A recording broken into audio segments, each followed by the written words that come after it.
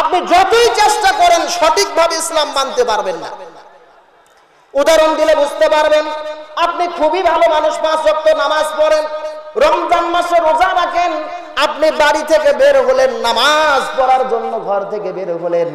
আপনার বাড়ি থেকে মসজিদ পর্যন্ত রাস্তাটা পাকা করা, সুন্দরভাবে টাইলস করা, সুন্দরভাবে পিচ ঢালাই করে রাস্তাটা পাকা করা। আপনি বাড়ি থেকে বের হলেন, নামাজ পড়ার জন্য আপনি রাস্তা দিয়ে যাওয়া শুরু করলেন। হঠাৎ করে বেয়া পর্দা বেয়া হায়া নারী আপনার চোখে পড়ল। এখন আপনাদের জিজ্ঞাসা করি, বলেন তো আপনাদের দিনাজপুর, বিরামপুরে বেয়া পর্দা বেয়া হায়া নারী আছে না নাই? কথা বলেন, আছে না নাই? বর্তমানে সমাজের মা বোনেরা এখন দুই শ্রেণীতে বিভক্ত হয়েছে। বর্তমানে বাংলাদেশে মুরগি পাওয়া যায় দুই ধরনের, জোরে বলেন কয় ধরনের? একটা হলো পোলট্রি মুরগি আর একটা হলো দেশি মুরগি। আপনি যদি রাস্তাতে হেঁটে যান, আপনার কাছে যদি দেশি মুরগি ছেড়ে দেওয়া হয়, একবার দৌড়ে চলে যাবে। আপনি যতই চেষ্টা করেন, ধরতে পারবেন না, কথা বলেন ঠিক কিনা আর ব্রয়লারের পোলট্রি মুরগি যদি আপনার কাছে ছেড়ে দেওয়া হয়, দেখবেন এটা কোনো দিক দৌড়বে না, শুধু আপনার পাশেই ঘুরবে, আপনার পাশেই ঘুরবে। কথা বলেন ঠিক কিনা এই মুরগি শুধু দুই রকম না, আমাদের মা বোনেরাও দুই শ্রেণীতে বিভক্ত হয়েছে। কিছু মা বোনেরা সে পর্দা, শিলা, সুন্দর সতীসাধ্যী যারা ছেলে মানুষ, পুরুষ মানুষকে দেখার সঙ্গে এক দৌড়ে বাড়িতে চলে যায়, তাদেরকে আর খুঁজে পাওয়া যায় না। আর কিছু বেয়া পর্দা বেয়া হায়া নারী আছে, যারা পুরুষ মানুষ দেখলে কোথাও যায় না, শুধু পুরুষের চতুর চতুর্পাশ দেয় ঘরে কথা বলেন, ঠিক কিনা? সুতরাং বেয়া পর্দা নারী আপনার চোখে পড়ল, আপনি মসজিদে চলে গেলেন নামাজ পড়ার জন্য। নামাজ পড়ার জন্য ইমামের পিছনে দাঁড়াইছেন, ইমামের পিছনে নিয়ত করেছেন নামাজ পড়ার জন্য। আপনার মুখ আছে কাবার দিকে, আপনার দেহ আছে মসজিদের ভিতরে, আর আপনার মনটা শুধু বলতেছে, কি দেখলাম রে, কি দেখলাম রে? কথা বলেন। আপনার চোখের মধ্যে পোকা বলে তোলা যায়, চোখের মধ্যে ধুলা বলে, বালি বলে তোলা যায়। কিন্তু যেই জিনিস আপনার চোখে পড়ছে, বলেন তো, এটা কি তোলা যাবে? এটা তোলা যাবে না, আপনি নামাজ পড়বেন, আপনার দেহ থাকবে মসজিদের ভিতরে। আপনার মুখ থাকবে কাবার দিকে, কিন্তু আপনার মাথার মেমোরি শুধু বলবে, কি দেখলাম রে, কি দেখলাম রে? তার মানে হলো, এই মহিলাটা ব্যাপারটাই থাকার জন্য যতই মসজিদ সুন্দর হোক, যতই রাস্তা সুন্দর হোক, আপনি নামাজটাকে সুন্দর করতে পারলেন না। তার মানে আপনি নামাজকে যদি সুন্দর করতে চান, তার আগে আপনাকে সমাজের পরিবেশ সুন্দর করতে হবে। আরও উদাহরণ দিলে বুঝতে পারবেন, আপনি খুবই ভালো মানুষ, হজ করার জন্য বাড়ি থেকে বের হলেন এই যে আপনার বিরামপুর থেকে আগে ঢাকা এয়ারপোর্টে যাইতে হবে, সেখান থেকে প্লেনে চড়ে আপনার সৌদি আরবে যাইতে হবে, মক্কা, মদিনায় হজ করতে হবে। আপনি বাড়ি থেকে বের হলেন। বাড়ি থেকে বের হওয়ার পরে আপনি বিরামপুরে গেলেন। বিরামপুর থেকে ঢাকা থেকে বাস, আপনি বিরামপুর থেকে ঢাকা পর্যন্ত বাসে যাবেন। ওই বাসে চড়ে যাওয়া শুরু করলেন। কিছুক্ষণ পর বাসটা যাওয়া শুরু হলো। বাসটা যাওয়া শুরু হলেন আর বাস চালু হওয়ার কিছুক্ষণ পরেই বাসের মধ্যে গান বাজা শুরু হয়ে গেল। সুন্দরী নারী দেখলে পারে, আমার মনে দেওয়া না করে, ওলে ওলে। কথা বলেন, গান আছে না নাই? অথবা গান শুরু হয়ে গেল ফাইটে যাই ফাইটে যাই, জোড়া দেওয়ার বুদ্ধি নাই, কথা বলেন ঠিক কিনা? অথবা গান শুরু হয়ে গেল বন্ধু আমার পানের দোকানদার, একটা মিষ্টি জগ দেয়, পান খাওয়াইয়া কাইরা নিল, মন আমার মন আমার। বন্ধু আমার জাহান নামের ঠিকাদার, কথা বলেন ঠিক কিনা? তার মানে আপনার মন চাই না, এখন হয়তো অনেকেই বলবেন, হুজুর, আপনি কোরআনের মাহফিলে গান গান কেন? আরে ভাই, গান তো আমি গাইতেও চাই নাই, জীবনে ইচ্ছা করেও কোনো গান শুনি নাই। কিন্তু বাংলাদেশের সমাজ ব্যবস্থা এমন, যখন কোনো গান মার্কেটে আসে, আপনি বাজারে গেলে সেই গান বাজে, রাস্তায় গেলে সেই গান বাজে, স্কুলে গেলে সেই গান বাজে, বলেন তো গান বাজে কি বাজে না? এ কথা বলেন, বাজে কি বাজে না? এই যে আপনাদের এমপি সাহেব শিবলি সাদিকের স্ত্রী, ম্যাডাম সালমা একটা গান গাইছিল, মনে আছে না নাই? আমি চাইলাম যারে ভবে পাইলাম না তারে।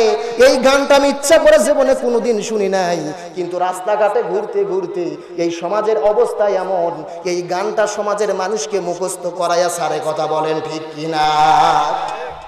যদিও শুনতে না চান, এই সমাজ আপনাকে গানটা মুখস্থ করাইয়া ছাড়বে।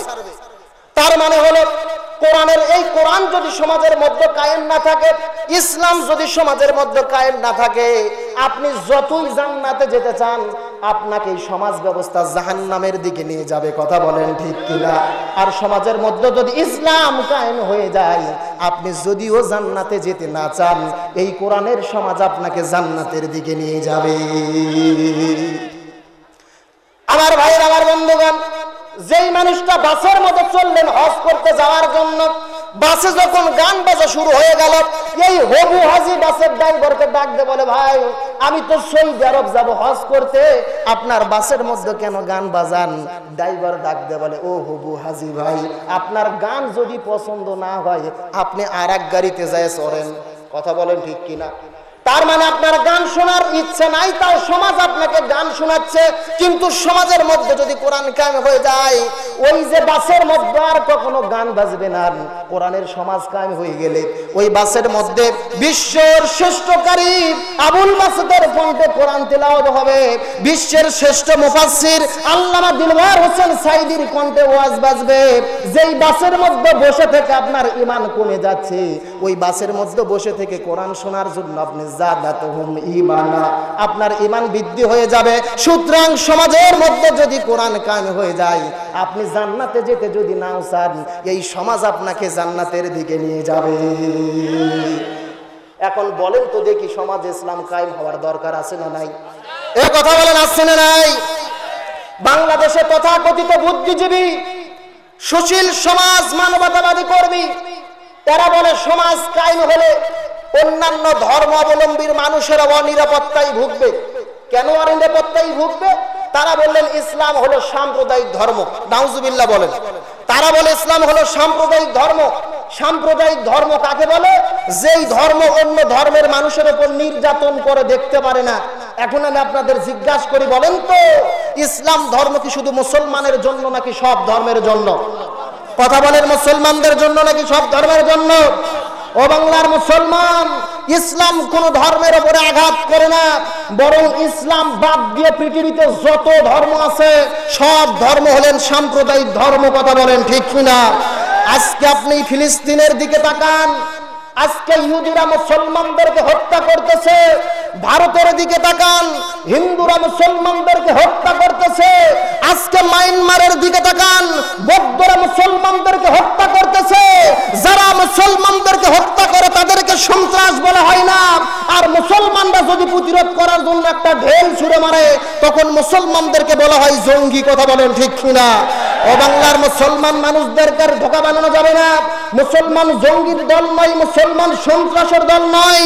বরং ইসলাম বাদ দিয়ে গোটা পৃথিবীতে যত ধর্ম আছে, সব ধর্মের মানুষ সন্ত্রাস সন্ত্রাস সন্ত্রাস কথা বলেন ঠিক কিনা? কোথায় বাংলাদেশের মানবতাবাদী কর্মী? আজকে কোথায় ইউনেস্কো কোথায় জাতিসংঘ? কোথায় বিশ্বের মানবাধিকার সংগঠন? আজকে মায়ানমারে হাজার হাজার মুসলমানদেরকে কেটে কেটে হত্যা করা হচ্ছে।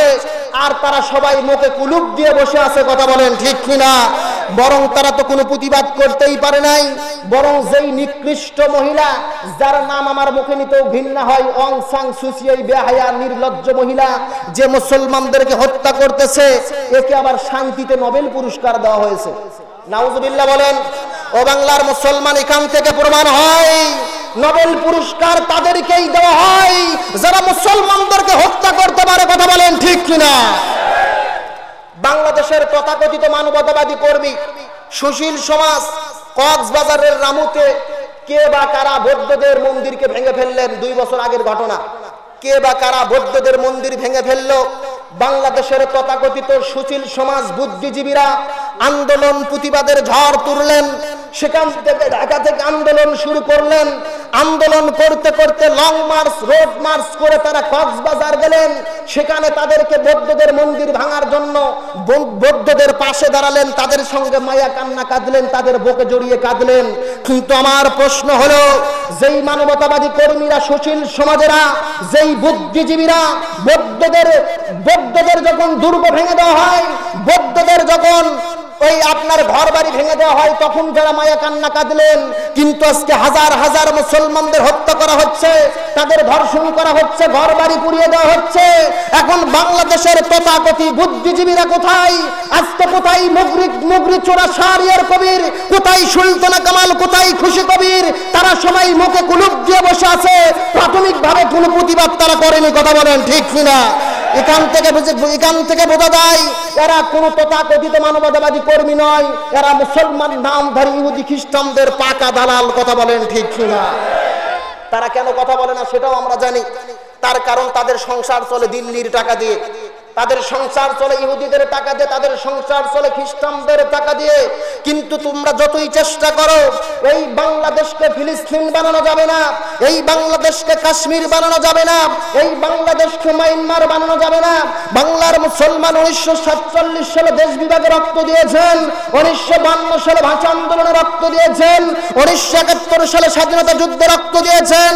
প্রয়োজনে বাংলার মুসলমান আর একবার রক্ত দেবে, তারপরেও নাস্তিকদের ধনঘটা বাংলার জমিনে মেনে নেওয়া হতে পারে না পারে না পারে না, কথা বলেন ঠিক ও বাংলার মুসলমান, আজকে ইসলামী সমাজের বিরুদ্ধে কথা বলা হয়। বলে, সমাজ ইসলাম কায়েম হবে কীভাবে?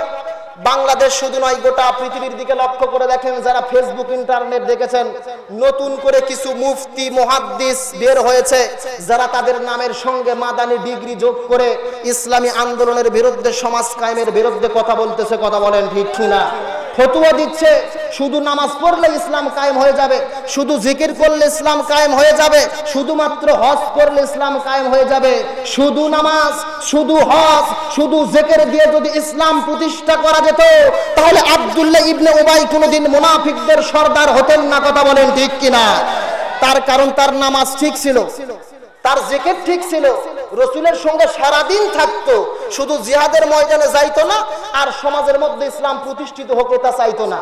এই জন্য যদি মুনাফিকের সর্দার আব্দুল ইবনে ভাই হয়, সুতরাং হুজুর হোক, মুফতি হোক, মুহাদ্দিস হোক, যারা ইসলামী সমাজের বিরুদ্ধে কথা বলবে, যারা ইসলামী আন্দোলনের বিরুদ্ধে কথা বলবে, নিঃসন্দেহে তারা আব্দুল্লাহ ইবনে ভাইয়ের উত্তর সরি কথা বলেন ঠিক কিনা। আল্লাহ রাব্বুল আলামিন পৃথিবীতে কোরআনের সমাজ কায়েমের হুকুম করলেন। কোরআনের সমাজ গঠনের হুকুম করলেন, তার কারণ কি? আল্লাহ রাব্বুল আলামিন এই পৃথিবীতে যত নবী রাসুল প্রেরণ করেছেন, যত পয়গাম্বর প্রেরণ করেছেন, সব নবী রাসুলের দায়িত্ব ছিলেন সমাজের মধ্যে দিন কায়েম করা।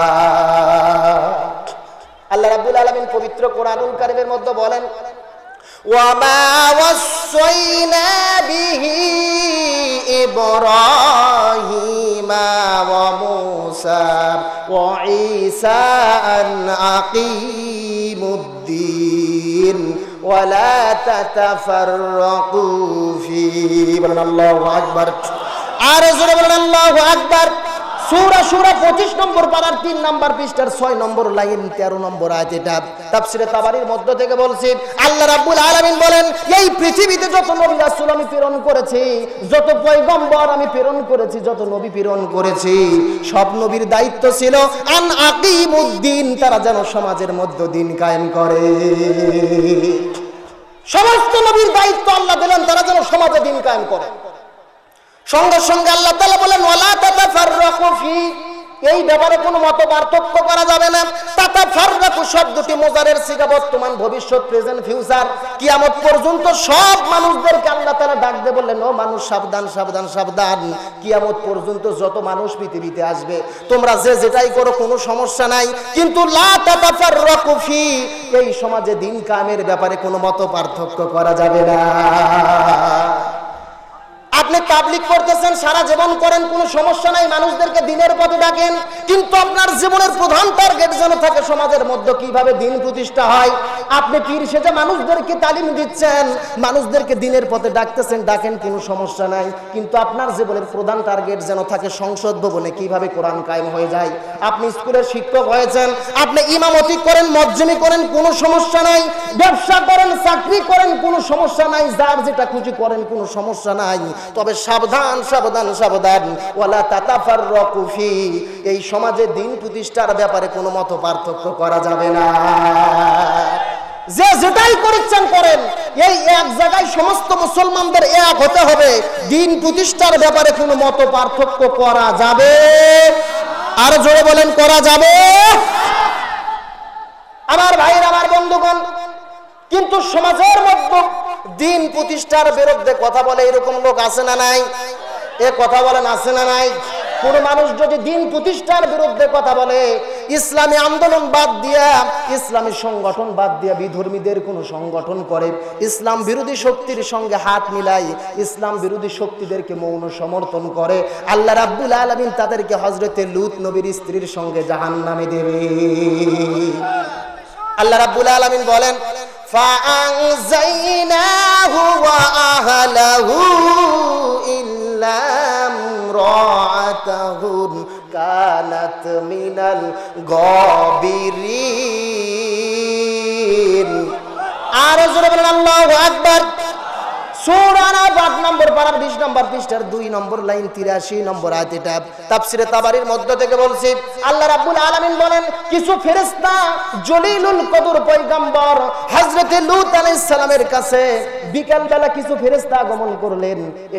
আল্লাহর আপনার আল্লাহর বিরুদ্ধে চারণ করেছে, ইসলাম বিরোধী কাজ করেছে, ইসলামের বিরুদ্ধে কাজ করেছে, খোদার খোদাদ্রোহিতা করেছে, আল্লাহর সঙ্গে নাফরমানি করেছে এই জন্য আল্লাহ রাব্বুল আলামিন আপনার কমকে ধ্বংস করে দেবেন, আপনার কমকে শাস্তি দেবেন। আপনি এই কম থেকে সন্ধ্যা হওয়ার আগেই বের হয়ে যান, তবে সাবধান সাবধান সাবধান। আপনি আপনার স্ত্রীকে সাথে নিতে পারবেন না। আপনি কম থেকে বের হয়ে যান, স্ত্রীকে সাথে নিতে পারবেন না। এমন সময় হযরত লূত আলাইহিস সালাম জিজ্ঞেস করলেন, ফেরেশতারা, তার মানে কি আমার স্ত্রী অন্যায় কাজ করেছে? আমার স্ত্রী আল্লাহর বিরুদ্ধে চারণ করেছে। আমার স্ত্রী আল্লাহর বিরুদ্ধে কাজ করেছে নাকি? এমন সময় ফেরেশতারা ডাক দিয়ে বলে, ও আল্লাহর নবী লূত আলাইহিস সালাম, আপনার স্ত্রী খোদার বিরুদ্ধে কোনো কাজ করে নাই খোদাদ্রোহিতার কোনো কাজ করে নাই। কিন্তু আপনার স্ত্রী এই সমাজের মধ্যে যারা ইসলাম বিরোধী শক্তি, যারা ইসলাম বিরোধীর পক্ষে চলে এই সমাজের মধ্যে যারা ইসলামী আন্দোলনের বিরুদ্ধে কথা বলে, ইসলাম বিরোধী শক্তি, তাদেরকে তিনি মৌন সমর্থন করেছিলেন। আর এই জন্য আল্লাহ রাব্বুল আলামিন এই মৌন সমর্থন করার জন্য এত অপছন্দ করেছেন। আপনার স্ত্রীকেও তাদের সঙ্গে শাস্তি নির্ধারণ করে রেখেছে। আমার ভাইরা, আমার বন্ধুগণ, লুত নবীর স্ত্রী ইসলাম বিরোধী শক্তিকে সমর্থন করার জন্য যদি জাহান নামে যেতে হয়, সুতরাং আজকেও বাংলাদেশ সহ গোটা পৃথিবীতে যারা ইসলামী আন্দোলন বিরুদ্ধে কথা বলেন, ইসলামী সমাজ ব্যবস্থার বিরুদ্ধে কথা বলেন, ইসলাম বিরোধী শক্তির সঙ্গে চলেন, তাদেরকে সমর্থন করেন, আল্লাহ রাব্বুল আলামিন আপনাদেরকে লুত নবীর স্ত্রীর সঙ্গে জাহান নামে দেবে। লুত নবীর স্ত্রী মাপ পায় নাই। সুতরাং আজকেও যারা ইসলামী আন্দোলনের বিরুদ্ধে কথা বলবে, ইসলামী সমাজ ব্যবস্থার বিরুদ্ধে কথা বলবে, ইসলাম বিরোধী শক্তিকে সমর্থন করবে, তাদেরকেও জাহান নামে যেতে হবে, কথা বলেন ঠিক কিনা? সুতরাং আমার ভাইরা, আমার বন্ধুগণ, সর্বপ্রথম মুসলমানদের মার খাওয়ার কারণ ছিল, মুসলমানদের ইবাদত হচ্ছে না। আর ইবাদতের মধ্যে সবচেয়ে বড় ইবাদত হলেন ইকামত দিনের কাজ করে, ইসলামী সমাজ কায়েমের কাজ করা। এই কাজটি না হওয়ার কারণে আমরা মুসলমানরা নির্যাতিত, নিপীড়িত। এইগুলো প্রথম নম্বর কারণ ইবাদত হচ্ছে না। তিনটা কারণের দুই নম্বর কারণ কি? এই সম্পর্কে আল্লাহ রাব্বুল আলামিন পবিত্র কোরআনুল কারীমের মধ্যেও বলেন, আল্লাহ রাব্বুল আলামিনের ঘোষণা। ومن أعرض عن ذكري فإن له معيشة ضنكا ونحشره يوم القيامة يعمى أرسل الله أكبر 16 নম্বর 19 নম্বর 13 নম্বর লাইন 124 নম্বর আয়াত এটা। তাফসীর ফিজিল আলিল কোরআন। আল্লামা সাইয়্যিদ কুতুব আল্লাহ রাব্বুল ঘোষণা যারা কোরআন থেকে মুখ ফিরিয়ে নেবে, যারা কোরআন থেকে দূরে সরে যাবে, যারা কোরআনের বিধান থেকে মুখ ফিরিয়ে নেবে, কোরআন থেকে দূরে সরে দাঁড়াবে। আল্লাহ রাব্বুল আলামিন তাদের জীবনকে পরিপূর্ণ শান্তিতে ভরে দেবে। যারা কোরআন থেকে দূরে থাকবে, আল্লাহ তাদের জীবনে অশান্তিতে ভরে দেবে। সুতরাং গোটা পৃথিবীতে মুসলমানদের জীবনে অশান্তির দুই নম্বর কারণ হলো, আমরা কোরআন থেকে দূরে সরে আসি কথা বলেন ঠিক কিনা? আজকে ব্যক্তির কাছে কোরআন নাই, আজকে পরিবারের কাছে কোরআন নাই, সমাজের কাছে কোরআন নাই, রাষ্ট্রের কাছে কোরআন নাই। একটা ব্যক্তির দিকে যদি লক্ষ্য করেন, একটা ব্যক্তি পৃথিবীতে আসার পরে এই পৃথিবীতে চাকরি করবে, ব্যবসা করবে, বাণিজ্য করবে, এই জন্য প্রাইমারি স্কুলে পড়ে, তারপরে স্কুলে পড়ে, তারপরে কলেজে পড়ে, তারপরে ভার্সিটিতে পড়ে। ইঞ্জিনিয়ার হয়, ডাক্তার হয়, কিন্তু এই ব্যক্তির কাছে আপনি কোরআন নিয়ে যান, কোরআন পড়তে পারে না, এরকম লোক আছে না নাই? এ কথা বলেন, আছে না নাই? কিন্তু ডক্টর মোহাম্মদ শহীদুল্লাহ বলেছেন, কোন মানুষ যদি গোটা পৃথিবীর সব জ্ঞান অর্জন করে, কিন্তু তার মধ্যে যদি কোরআনের কোনো জ্ঞান না থাকে, এই ব্যক্তির চাইতে মূর্খ ব্যক্তি পৃথিবীতে আর একটাও নাই। সব জ্ঞান জানে, কোরআনের জ্ঞান নাই, তার মধ্যে কিছুই নাই। শুধু ডক্টর মোহাম্মদ শহীদুল্লাহ নয়, আমার নবী হাদিসের মধ্যে একই কথা বলেছেন, যেই ব্যক্তির মধ্যে কোরআন নাই, কোরআনের জ্ঞান নাই, কোরআনের এলেম নাই, কোরআনের আমল নাই, ওই ব্যক্তিটা হলেন একটা উজার গৃহ, ফাঁকা ঘর, ওই ঘরের মধ্যে কিচ্ছু নাই। ও বাংলার মুসলমান, আপনি ডাক্তার হন, ইঞ্জিনিয়ার হন, ব্যারিস্টার হন, কোনো বাধা নাই। কিন্তু সর্বপ্রথম আপনাকে কোরআনের জ্ঞান অর্জন করতে হবে, কথা বলেন ঠিক কিনা? তার কারণ হলো আমার নাবি মানুষদের সঠিক পথে ফিরে আনার জন্য আইয়ামে জাহিলিয়াতকে চেঞ্জ করে দেওয়ার জন্য, সমাজটাকে পরিবর্তন করার জন্য ঘুমে ধরে সমাজটাকে পরিবর্তন করার জন্য আমার নবী দীর্ঘ তিন বছর যাবৎ গাড়ি হিরের মধ্যে গবেষণা শুরু করলেন। মানুষদেরকে মুক্তির জন্য গবেষণা শুরু করলেন। তিন বছর গবেষণা করতে করতে তিন বছর পরে আল্লাহ রাব্বুল আলামিন সর্বপ্রথম আমার নবীকে নামাজের বিধান দিলেন না, সর্বপ্রথম জিকিরের বিধান দিলেন না, সর্বপ্রথম হজের বিধান দিলেন না, সর্বপ্রথম জিহাদের বিধান দিলেন না, জিকিরের বিধান দিলেন না কিন্তু আল্লাহ রাব্বুল আলামিন সর্বপ্রথম বললেন ইকরা বি ইসমি রাব্বিকাল্লাযী খলাক। আল্লাহ তাআলা নবীকে ডাক দিয়ে বললেন, হে নবী, আপনি মানুষদেরকে যদি পরিবর্তন করতে চান, মানুষদেরকে যদি জান্নাতের দিকে নিয়ে যেতে চান, মানুষের জীবনটা যদি পরিবর্তন করতে চান, সর্বপ্রথম মানুষকে কোরআনের জ্ঞান অর্জন করতে হবে।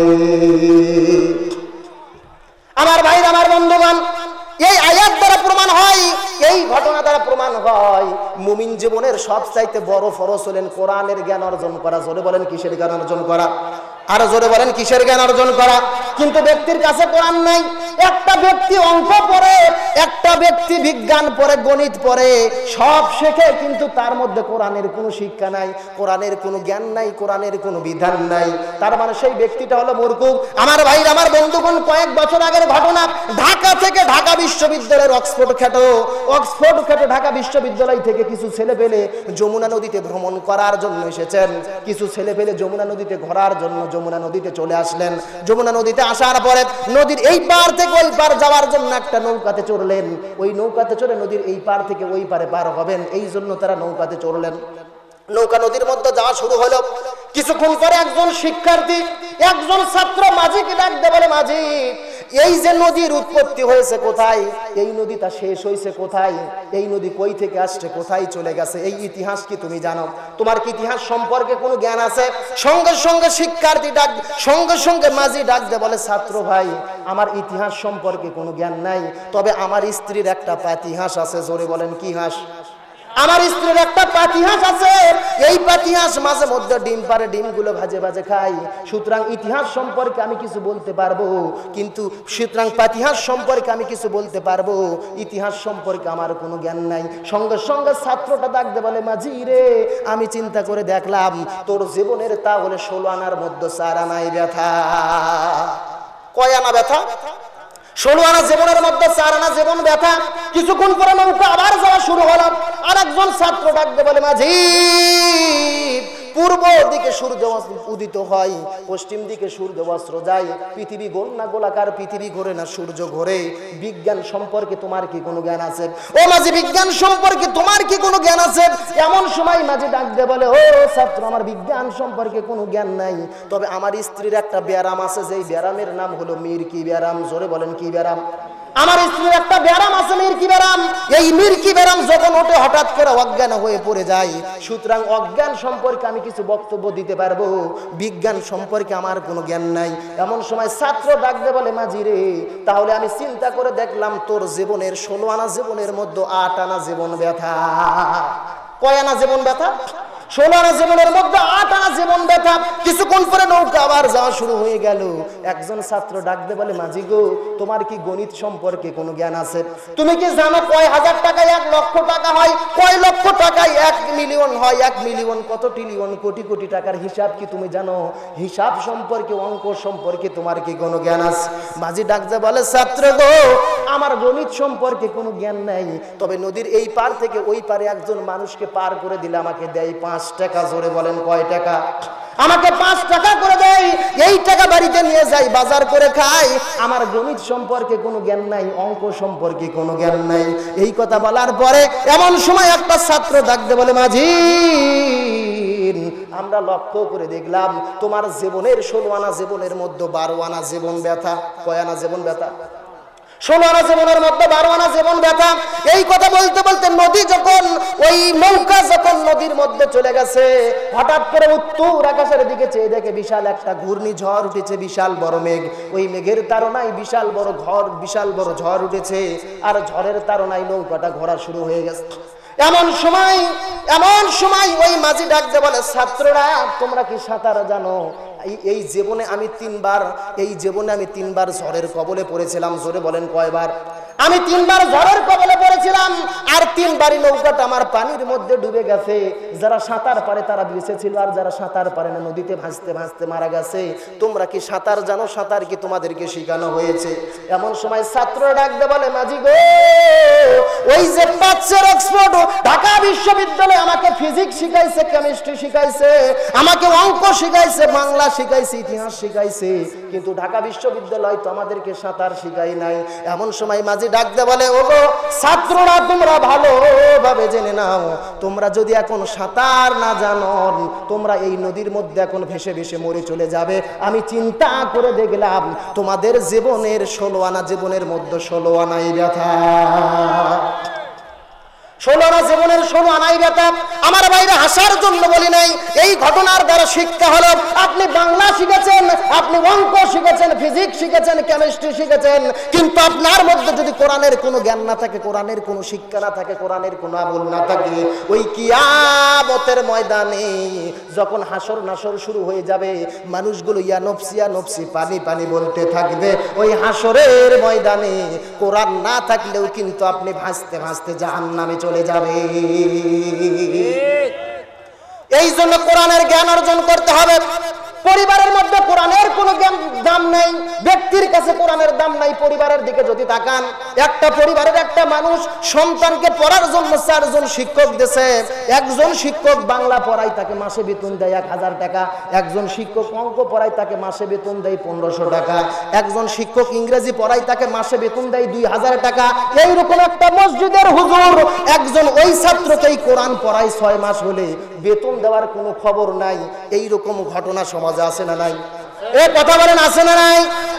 বাংলা মাস্টারকে এক হাজার টাকা মাস বেতন দেয়, ইংরেজি মাস্টারকে দুই হাজার টাকা মাস বেতন দেয়, অঙ্ক মাস্টারকে পনেরোশো টাকা মাস বেতন দেয়। কিন্তু হুজুর এক নয়, দুই নয়, ছয় মাস যাবৎ কোরআন পড়াচ্ছে, হুজুরের কোনো বেতন নাই। ছয় মাস পরে ছাত্র ওই ছেলেটা এসে বলে, বাবা, আমি নিজে নিজেই কোরআন পড়তে পারি, বাবা, আমি নিজে নিজেই কোরআন পড়তে পারি। এমন সময় বাবা চিন্তা করেছেন, যেহেতু নিজে নিজেই আমার ছেলে কোরআন পড়তে পারে, এখন হুজুরকে বিদায় করতে হবে। জোরে বলেন, কি করতে হবে? এখন হুজুরকে বিদায় করতে হবে। পরের দিন সকালবেলা হুজুরের কাছে যাই বলে, হুজুর, আপনি অনেক কষ্ট কষ্ট করেছেন হুজুর। অনেক কষ্ট করে আমার ছেলেকে আপনি কোরআন পড়া শিখাইছেন। তবে আমি শুনেছি, কোরআন শিক্ষা দিয়ে নাকি হাদিয়া নেওয়া যায় নাই। কোরআন শিক্ষা দিয়ে নাকি হাদিয়া নেওয়া জায়েজ নাই? হুজুর মনে মনে চিন্তা করে, আল্লাহ গো, এটা কোন দেশে আসলাম রে? যেই দেশে হুজুর মারা ফতুয়া আছে, আর কোন জায়গায় ফতুয়া নাই? যেই জায়গায় কি মারা ফতুয়া আছে? এ জোরে বলেন, কি মারা ফতুয়া আছে? হুজুর মারা ফতুয়া আছে। বাংলা মাস্টারকে এক হাজার টাকা মাস বেতন দেয়, ইংরেজি মাস্টারকে এক হাজার, দুই হাজার টাকা মাস বেতন দেয়, অঙ্ক মাস্টারকে পনেরোশো টাকা মাস বেতন দেয়, কোনো ফতুয়া নাই। অথচ যত ফতুয়া হলো হুজুরের ওপরে, এরই নাম হলো বাংলাদেশ। জোরে বলেন, কোন দেশ? আরও জোরে বলেন, কোন দেশ? একজন হুজুর একটা গ্রামে ইমামতিত্বের চাকরি নিয়েছেন। ইমাম সেজে একটা গ্রামে চাকরি নিয়েছেন। হুজুরকে থাকতে দিয়েছে মাটির বাড়ি। হুজুর নামাজ পড়ায় আজান দেয়। ওই বাড়ির মধ্যে থাকে, বাড়ির মধ্যেই জীবন যাপন করে। মাটির বাড়ি খুবই ভালো। গরমের দিনে শীত লাগে, শীতের দিনে গরম লাগে। মাটির বাড়ি খুবই ভালো, খুবই মজা। কিন্তু মাটির বাড়ির একটা দোষ হলো, মোবাইল যদি মাটির বাড়িতে ফোন নেটওয়ার্ক পায় না। কথা বলেন ঠিক কিনা? মাটির বাড়ি সব ভালো নেটওয়ার্ক পায় না, কিন্তু হুজুরটা ধর, পড়ছে বড় বিপদে। মাগরিব ভাইয়ের কথা কিন্তু বলতেছি না ধরে নেন এই যে হুজুরটা পড়ছে বড় বিপদে করবে কি? ঘরের মধ্যে থেকে কথা বলা যায় না, হুজুরের ভাই ব্রাদার বান্ধবী, হুজুরের বোন ফোন দিয়েছে। কথা বলবে কেমন ভাবে? হুজুর মোবাইলটা হাতে নিয়ে জানালার মধ্য দিয়ে বার করে দিয়েছে। হুজুর হলো ঘরের মধ্যে, মোবাইল হলো বাহিরে। লাউড স্পিকার দিয়ে হুজুর কথা কয়। গ্রামের মধ্যে একটা ছেলে আসছে, হুজুর। আপনি তো খুবই বিপদে পড়ছেন। হুজুর ডাকতে বলে, করব কি? গরিব মানুষ, ইটা দিয়ে টাকা, ইটা দিয়ে বাড়ি করার মতো টাকা নাই। আমি খুবই বিপদে পড়ছি ভাই, কি করা যায়? ওই গ্রামের ছেলেটা বুদ্ধি দেয়, হুজুর, আপনি বেশি টেনশন করেন না। এই বিপদ থেকে মুক্তি পাওয়ার জন্য লাগবে তিনশো টাকা, জোরে বলেন কয়শো টাকা? তিনশো টাকা লাগবে। আপনি দিনাজপুর শহরে যান, বিরামপুরে যান। আপনি তিনশো টাকা দিয়ে একটা এন্টিনা কেনেন। এন্টিনা বাসার সঙ্গে লাগাইয়া উপর দিকে দেন। সেখান থেকে তার নিয়ে এসে মোবাইলের মধ্যে ঢুকে দেন। যেখানেই রাখবেন, সেখানেই নেটওয়ার্ক পাবে। হুজুর, পরের দিনে চলে গেছে দিনাজপুর শহরে। একটা এন্টিনা নিয়ে আসছেন তিনশো টাকা দিয়ে। বাসের সঙ্গে লাগাইয়া উড়াই দিছে। সেখান থেকে তার নিয়ে এসে মোবাইলের মধ্যে দিছে। হুজুর, খুবই আরামে আছে, কথা বলে। ল্যাপ ল্যাপের মধ্যে ঘুম পারে। কথা কয়, কোনো সমস্যা নাই নেটওয়ার্ক পায়। কিন্তু গ্রামের মধ্যে কিছু তেল তেলা গোয়েন্দার আছে না নাই? গ্রামের মধ্যে একজন তেল তেলা গোয়েন্দার সকালবেলা হুজুরের বাড়ির পাশে যাচ্ছেন। বাড়ির দিকে ছায়া দেখে হুজুরের বাড়িতে এন্টেনা লাগানো। গোয়েন্দার ডাক দে বলে, হুজুর তাইলে টিভিও কিনছে। হুজুর তাহলে টিভিও কিনছে। এক দৌড়ে গ্রামের মধ্যে যাই বলছে, কিয়ামত হবে কিয়ামত হবে। গ্রামের লোক আসে বলে, কেন কিয়ামত, কেন হবে? বলে, হুজুরের বাড়ির টিভির এন্টেনা দেখে আসলাম। হুজুর বসে থেকে সিনেমা দেখতেছে। সমস্ত মুসল্লি বলে, নাউজুবিল্লাহ নাউজুবিল্লাহ, আমাদের বাড়িতে বিশাল লাইন থাকবে, কিন্তু হুজুরের বাড়িতে টিভি থাকবে কেন? আমাদের বাড়িতে কিসের লাইন থাকবে? আমাদের বাড়িতে ডিশের লাইন থাকবে, কোনো সমস্যা নাই। কিন্তু হুজুর টিভি দেখবে কেমনে? এই হুজুরকে রাখা যাবে না, হুজুরের চাকরি ক্যান্সেল হুজুরের চাকরি বাদ করে দিয়েছে। এমন সময় জোরের নামাজের আজানের সময় হয়েছে। হুজুর দ্রুত গতিতে যাচ্ছে, উজু করে আজান দেবে। এমন সময় গ্রামের মানুষ ডাকতে বলে, হুজুর, শোনেন, আপনার চাকরি বাদ। হুজুর বলে, কেন আমার চাকরি বাদ হলো? আমি কি অন্যায় করলাম? বলে, আপনি নাকি এন্টিনা লাগে বাড়িতে টিভি দেখতেছেন। হুজুর বলে, আরে ভাই, কিসের টিভি দেখতেছি? ওটা তো মোবাইলের এন্টেনা মোবাইল দিয়ে কথা বলি। মোবাইলের জন্য আমি এন্টেনা লাগাইছি। এমন সময় গোয়েন্দারকে গ্রামের সবাই ডাকতে বলে এই গোয়েন্দার, কি দেখলি, কি বললি? এমন সময় গোয়েন্দার ডাকতে বলে, ভাবছিলাম ভাই, ভাবছিলাম। ভাবছিলাম, মনে করছিলাম, মনে করার উপরে হুজুরের উপরে অভিযোগ, আর তদন্ত না করে বিচার। মনে করার উপর অভিযোগ, আর তদন্ত না করে বিচার। এই জন্য হুজুরের চাকরি বাদ। আজকেও বাংলাদেশের কিন্তু একই অবস্থা হয়েছে ভাই। মনে করার উপর অভিযোগ, আর তদন্ত করে দেওয়া হয়েছে জেলখানা। চিন্তা করছে, হুজুরকে ছেড়ে দিলে যদি বিপদে পড়তে হয়, দেয়া যায় আজীবন কারাদণ্ড। কথা বলেন ঠিক কিনা? মনে করার উপর অভিযোগ তদন্ত না করে বিচার। আমার বিশ্বাস যদি সঠিকভাবে তদন্ত করে বিচার করা হতো, এই বাংলাদেশের কোনো আলেমোলামা জেলখানায় বন্দি থাকতো না। কিন্তু বেশি টেনশন করার কোনো দরকার নাই। যার বিপদে তাই পড়ে। আল্লামা আশরাফ আলী থানভী রহমতুল্লাহ এর জীবনের মধ্যে একটা ঘটনা দেখলাম। একবার একটা মুরিদকে নিয়ে তিনি সমুদ্রের মধ্যে বেড়ানো শুরু করলেন, জাহাজে চড়ে সমুদ্রের মধ্যে যাওয়া শুরু করলেন। ওই নদীর মধ্যে যাইতে যাইতে একটা দেশের মধ্যে চলে গেছেন। ওই দেশের মধ্যে নামার পরে যায় দেখি ওই দেশে পানি আর ঘিয়ের দাম সমান সমান, পানি আর ঘিয়ের দাম সমান সমান। হুজুরের মুরিদ বলে, হুজুর, এই দেশ তো খুবই ভালো। পানি আর ঘিয়ের দাম সমান সমান। আমার জীবনের কত আশা ছিল, আমি ঘি খাব, ঘি খাইতে পারি নাই। টাকার অভাবে, যেহেতু এই দেশে পানি আর ঘিয়ের দাম সমান সমান, আজ থেকে পানি না খাই আমি ঘি খাব। হুজুর বলে ও মুরিদ, যেই দেশে পানি আর ঘিয়ের দাম সমান সমান হয় নিশ্চয় ওই দেশে জুলুম আছে, জোরে বলেন কি আছে? ওই দেশে জুলুম আছে, ওই দেশে ভেজাল আছে। মুরিদ বলে, হুজুর, জুলুম থাকে, ভেজাল থাকে, থাক, আমার কোনো সমস্যা নাই। আমি আজ থেকে পানি না খাইয়া ঘি খাব। সেই দিন থেকে ঘি খাওয়া শুরু করছে। ওই বাড়িতে ছিল দুইটা, ওই এলাকায় ছিল দুইটা চোর, জোরে বলেন কয়টা চোর? ওই এলাকায় দুইটা চোর ছিল। প্রতিদিন চুরি করত। একদিন রাতের বেলা ওই দুই চোর চুরি করতে গেছে। দুই চোর ছিল দুই ভাই। চুরি করতে করতে যখন গেছে, একটা বাড়িতে গেছে। ওই বাড়ির ওয়াল টপকে যখন চুরি করার জন্য পার হওয়া শুরু করছে, ওঠার পরে ওই ওয়ালটা ভেঙে পড়ে। এই দুইজন চোরের মধ্যে একজন চোর মারা গেছে। ওই ওয়ালটা ভেঙে পড়ে একজন চোর মারা গেছে। আর একজন চোর চিন্তা করে ক্যারে সারা জীবন একসঙ্গে চুরি করলাম। আমার এক চোর বন্ধু পৃথিবী থেকে বিদায় নিয়ে চলে গেল। এর জন্য আমি বিচার চাই। জোরে বলেন, কি চাই? এর জন্য বিচার চাই। চলে গেছে ওই দেশের আজার কাছে। আজার কাছে যাই বলে, আজাও, আমাদের দেশের একটা নাগরিক আমার একটা ভাই পৃথিবী থেকে চলে গেছে। আপনার কাছে কি আমি কোনো বিচার পাবো না? আমি তো আপনার দলের লোক। জোরে বলেন, কার দলের লোক? আজাদ বলতেছে, আমি তো আপনার দলের লোক, আমি কি বিচার পাবো না? আজা বলে, বিচার পাবা না মানে অবশ্যই বিচার হবে, আমি যা বলব তাই।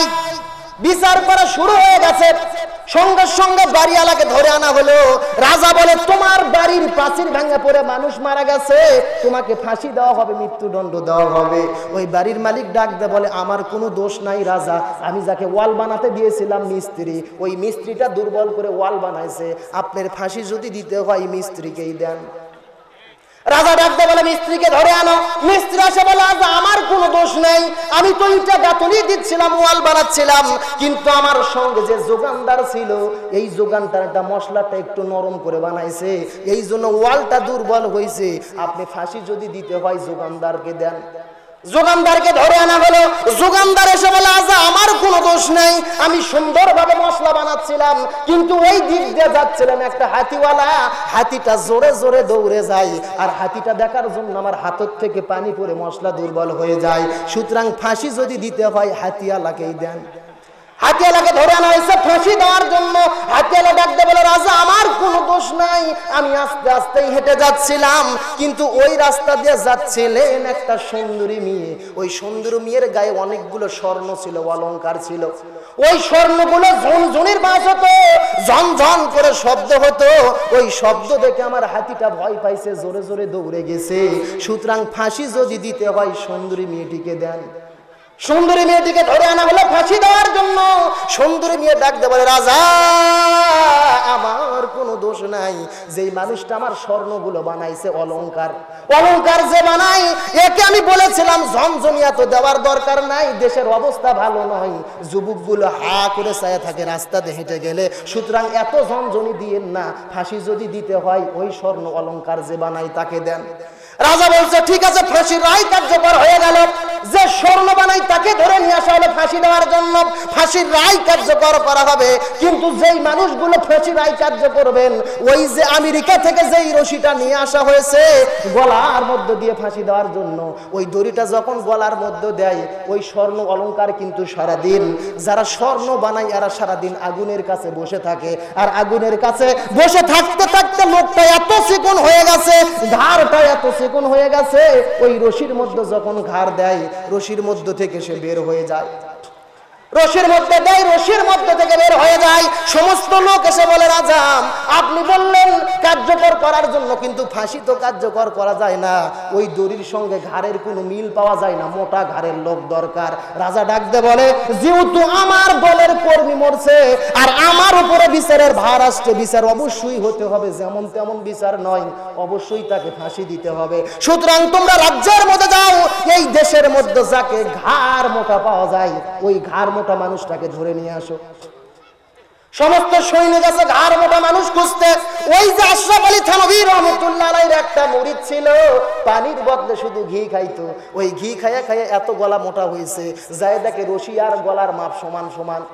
ওই মানুষটাকে নিয়ে আসছে ফাঁসি দেওয়ার জন্য। এমন সময় পীর ডাকতে বলে, ও মরিদান, তোরে বললাম, এত খাস না, এত খালে কিন্তু সমস্যা আছে, এই দেশের মধ্যে জুলুম আছে। মুরিদ বলে, হুজুর, বড় ভুল করেছে, আপনি আমাকে রক্ষা করেন। এমন সময় পীর বলে, বেশি চিন্তা করিস না, আমি তোকে যা বলি, তুই তাই করবি। মুরিদ বলে, কি করব? বলে, আগামী কালকে যখন ফাঁসি দেওয়ার জন্য তোকে ওই দড়ি যখন তোর গলার মধ্যে দেওয়া হবে, তখন তখন আমি শুধু বলব, আমার মুরিদকে ফাঁসি দেন না, আমাকে ফাঁসি দেন। পীর বুদ্ধি করে দিচ্ছে, যখন তোকে ফাঁসি দিবে, আমি বলব, আমাকে ফাঁসি দেন, আর তুই বলবি, না হুজুর, আমাকে ফাঁসি দেন, আমাকে ফাঁসি দেন। এই বুদ্ধি করে পরের দিনে ফাঁসির কাজটে চলে গেছে। ওই ঘাড় মোটা মুরিদকে যখন ফাঁসি দেওয়া শুরু করছে, পীর বলে, রাজা, আমাকে ফাঁসি দেন। আর মুরিদ বলে, না রাজা, আমাকে ফাঁসি দেন। পীর বলে, আমাকে ফাঁসি দেন। আর মুরিদ বলে, না রাজা, আমাকে ফাঁসি দেন। এমন সময় রাজা চিন্তা করে, দুইজনকে তো ফাঁসি দেওয়া যাবে না, একটা লোক মারা গেছে, একজনকে ফাঁসি দেওয়া হবে। কিন্তু জীবনে কত বিচার করলাম, কেউ তো দলাতে কেউ তো দড়ির মধ্যে গলা দিয়ে মৃত্যুবরণ করতে চায় না। কিন্তু এই হুজুরার মুরিদ কেন ফাঁসির কাজটা ঝুলতে চায়? এমন সময় রাজা ডাকতে বলে, ও পীর, আপনি কেন ওই ফাঁসির কাজটা ঝুলতে চান? এমন সময় পীর ডাকতে বলে, ও রাজা গো, আমি এই মুহূর্ত চিন্তা করে দেখলাম, ওই ফাঁসির দড়ির মধ্যে যেই গলা যাবে, সেই লোকটা সঙ্গে সঙ্গে জান্নাতে চলে যাবে।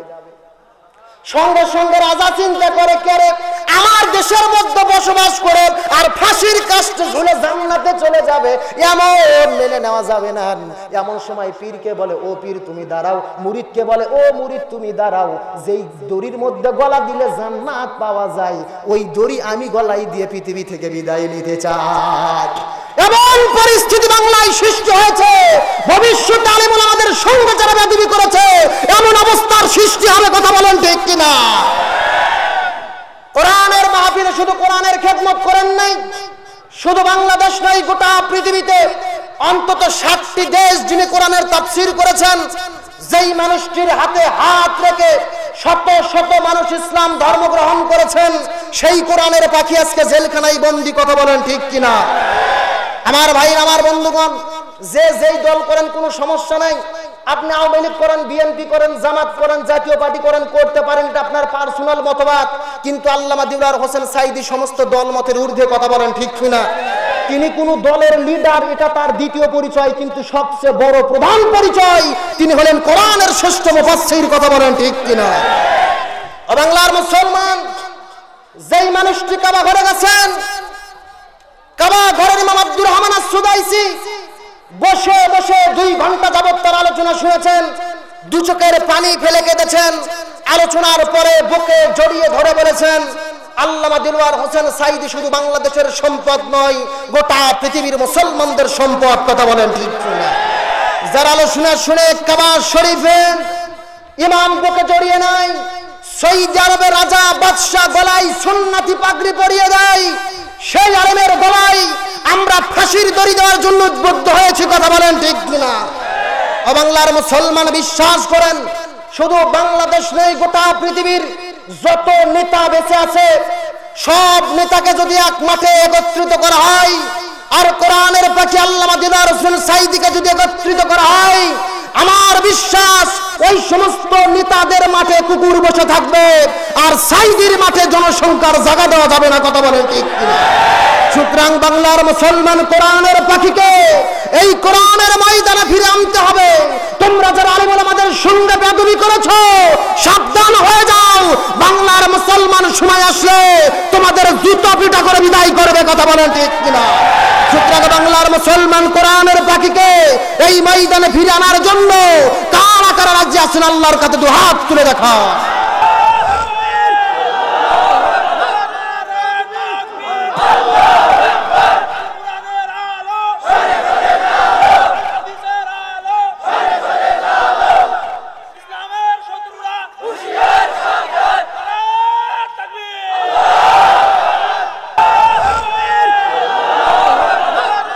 আমার ভাইয়ের আমার বন্ধুগণ এই জন্য বলতেছিলাম ব্যক্তির কাছে কোরআনের কোনো দাম নাই পরিবারের কাছে কোরআনের কোনো দাম নাই।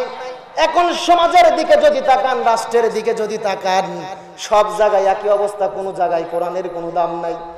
আজকে প্রাইমারিতে যান, কলেজে যান, ভার্সিটিতে যান, বিশ্ববিদ্যালয়ে যান, শিক্ষকদেরকে হাজার হাজার টাকা বেতন দেওয়া হয়, লক্ষ লক্ষ টাকা বেতন দেওয়া হয়। কিন্তু আপনাদের এই যে জোট মাজত কমই হাফিজি মাদ্রাসা, এই মাদ্রাসার মধ্যে কোনো বেতন দেওয়া হয় নাকি? হুজুর, বেতন দেওয়া হয় নাকি? মাদ্রাসায় কি কোনো বেতন আছে সরকারি? স্কুলে বেতন আছে, কলেজে বেতন আছে, ভার্সিটিতে বেতন আছে, কিন্তু শ্রেষ্ঠ গ্রন্থ কোরআন যেখানে শেখানো হয়, সেখানে কোনো বেতন নাই। কথা বলেন, ঠিক বললাম না বে ঠিক বললাম। মাঝে মধ্যে সরকারি অনুদান দেওয়া হয়। দেখবেন যদি দুই টন গম আসে, মাদ্রাসার কর্তৃপক্ষ উঠাইতে যায়, এক টন পাই। কথা বলেন ঠিক কিনা? বলে, আর এক টন কই গেল? বলে, আর এক টন উপরওয়ালা খাইছে। কে খাইছে? উপরওয়ালা কে আল্লাহ। কে? আচ্ছা বলেন তো যে উপরালা গম খাচ্ছে, তার উপরে আর এক উপরওয়ালা নাই। এই কথা বলেন নাই? যদি বলা হয় যে গম কেন কম দেওয়া হলো, ইউনিয়ন পরিষদের চেয়ারম্যান দেখবেন যখন কুরবানির সময় আসে, হুজুরকে বলে, হুজুর, দেখেন মোস্তাব পদ্ধতিতে গোস্ত বন্টন হচ্ছে কিনা? তিন ভাগ করে এক ভাগ নিজে খায়, এক ভাগ আত্মীয় স্বজনক দেয়, এক ভাগ গরিবক দেয়। বলে, দেখেন আপনি মাপ দেন, দাড়ি পাল্লাতে ঠিক মতো। কম বেশি যান না হয়, প্রয়োজনে আমার ভাগে কম আসুক, বেশি যান না আসে। আবার ওই চেয়ারম্যান মেম্বার যখন ইউনিয়ন পরিষদে ঘুম আর চাল বন্টন করতে যায়, তখন দাড়ি পাল্লা বাদ দিয়ে বালতিতে মাপ দেয়। কথা বলেন ঠিক কিনা? লেখে নিচ্ছে দশ কেজি, লেখে নিচ্ছে দশ কেজি, আর দিচ্ছে আট শেয়ার। কয়সার একজন যদি বলে, হুজুর লেখে নিলেন দশ কেজি, দিলেন আটশার ঘটনা কি? চেয়ারম্যান বলে বেশি কথা বলে কিন্তু নাম কেটে দেবো। কথা বলেন ঠিক কিনা?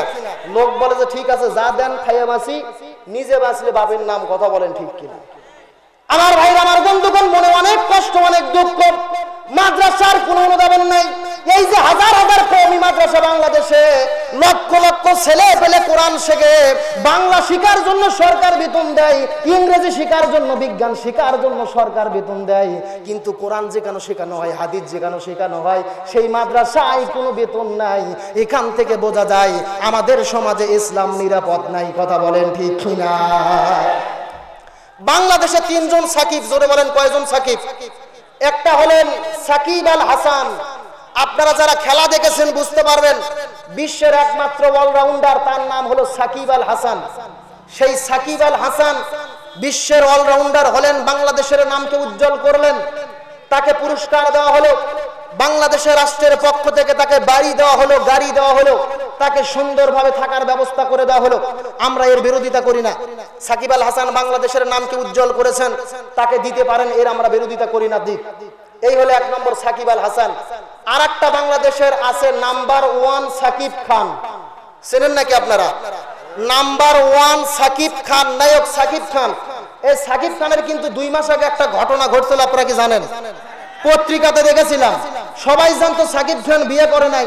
হঠাৎ করে নায়িকা অপবিশ্বাসের পত্রিকায় দেখলাম। অপবিশ্বাসের কোলে একটা সন্তান। সাংবাদিকরা যায় বলে, ম্যাডাম, আপনার কোলে সন্তান, আপনার তো বিয়ে হয় নাই সন্তানের বাবাকে। বলে যে, এই সন্তানের বাবা হলো নায়ক সাকিব খান। সাংবাদিকরা সবাই দৌড় মারছে নায়কের কাছে। যাই বলছে, স্যার, আপনার সন্তান দেখলাম। আপনি নাকি সন্তানের বাবা উপবিশ্বাসের আপনি কোলে সন্তান দেখলাম। নায়ক সাকিব বলে, সন্তান আমার, তবে স্ত্রী আমার না। বিশ্বাস করেন, যারা স্ত্রী সারা সন্তান জন্ম দিতে চায়, তাদের অভিনয় দেখে বাংলার মুসলমান কোনোদিন ভালো হতে পারে না, কথা বলেন ঠিক না আজকে স্কুলে ধর্ষণ, কলেজে ধর্ষণ, রাস্তায় ধর্ষণ, মাঠে ধর্ষণ, ঘাটে ধর্ষণ, ধানের খেতে ধর্ষণ, ভুট্টার খেতে ধর্ষণ, সমস্ত জায়গায় ধর্ষণ, এই সমস্ত কুলাঙ্গারেরা সর্বশেষ কোরআনের হাফেজাকে ধর্ষণ করেছে, কথা বলেন ঠিক কিনা? ও বাংলার মুসলমান ধর্ষণ কেন হয়? এই বাংলার জন্য তিন বছরের সন্তান থেকে শুরু করে আশি বছরের বিদ্যা পর্যন্ত ধর্ষণ থেকে রেহাই পাচ্ছে না, কথা বলেন ঠিক কিনা?